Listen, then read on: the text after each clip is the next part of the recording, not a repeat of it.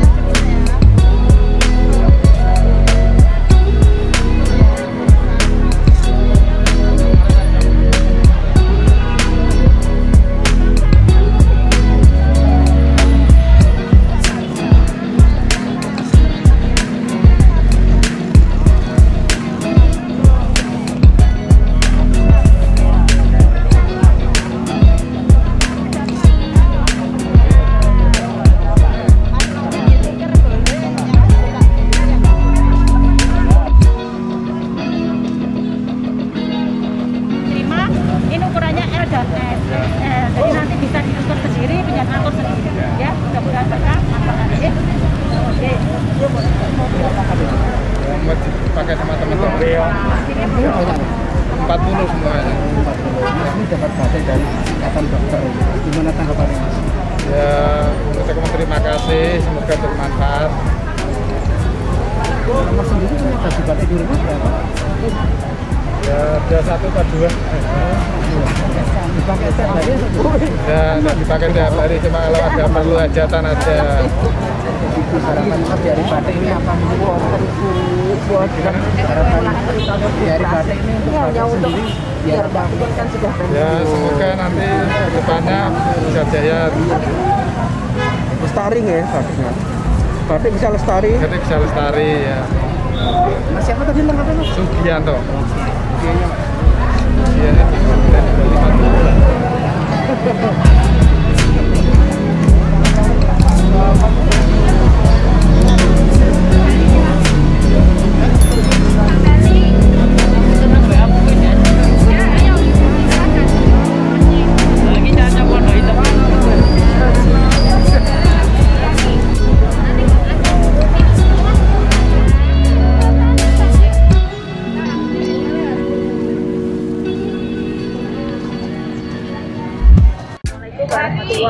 wabarakatuh. Eh, saya Ibu Sri Mulyaningsih Prasetyadi. Saya Ketua Ikatan Istri Dokter Indonesia Cabang Solo. Bu, ini acara apa sih Bu pagi hari ini? Bu? Hari ini eh, IID mengadakan acara dalam rangka memperingati Hari Batik Nasional, Mas. Kita hari ini berbagi batik untuk para tukang gendong ya, ibu-ibu gendong, bok-bok gendong, kemudian kuli gede, eh, kemudian eh, tenaga kebersihan, satpam dan ada tukang beca. Kenapa sih kok bagi-bagi batik kenapa itu? Ya karena hari ini bertepat- bertepatan dengan Hari Batik dan kita ingin menumbuhkan rasa cinta kepada batik sebagai warisan leluhur, Mas.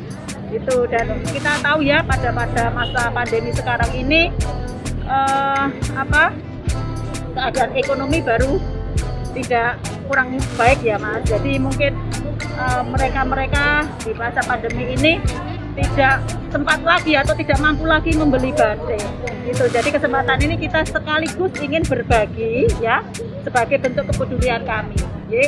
karena IID sendiri selain eh, kemarin-kemarin bisa membagi sembako kemudian apa eh, memberikan sarana kesehatan ya nah kali ini kita memberikan dalam bentuk sandang seperti itu. Berapa jumlahnya Bu? Se- kalau mbok gendong ada 35 mbok gendong. Kemudian kuli kuli apa gede ini ada 50 tenaga kesehatan eh tenaga tenaga apa Eh, kebersihan sama satpam 30 jadi semua 115 ditambah Pak BK Becak nanti yang ada di sini ya kita tidak bisa prediksi berapa. Tapi kita sudah siap batik eh, dalam jumlah yang cukup. Harapannya Bu dengan pembagian di hari Ya, batiknya ya, harapan kami tentunya yang pertama eh, kami ingin menumbuhkan rasa cinta ya terhadap batik sebagai warisan leluhur ya muri-uri budaya sebagai orang Jawa kita juga harus eh, senantiasa mencintai batik kemudian ya tentunya eh, mudah-mudahan eh, bantuan ini berkah dan manfaat bagi mereka begitu mas Jadi totalnya 200 an batik ada Ye, lebih? ada 200-an. Lebih dari Ye, 200 Ye, ya? 200-an batik. Ye. Ini semuanya baru, Mas. Alhamdulillah kita karena di masa pandemi kita tidak berani memberi bekas, ye. Jadi eh, semuanya baru. Insya Allah. Ye. Ibu nama lengkap? Saya Ibu Sri Mulyaningsih Prasetyadi, Ketua? Ketua Ikatan Istri Dokter Indonesia Cabang Solo.